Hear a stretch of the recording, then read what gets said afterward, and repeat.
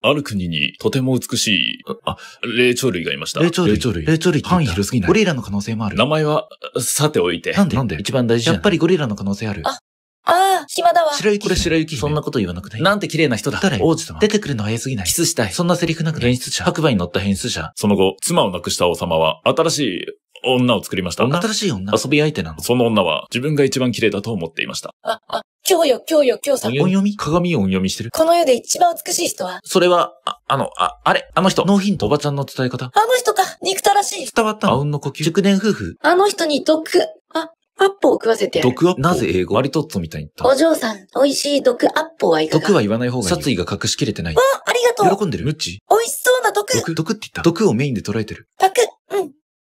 え、遅効性？毒地構成。それか体勢持ち？倒れた。倒れて。倒れて。倒れてって言った。毒が効いた。倒れてじゃない。倒れてって言ったからじゃない？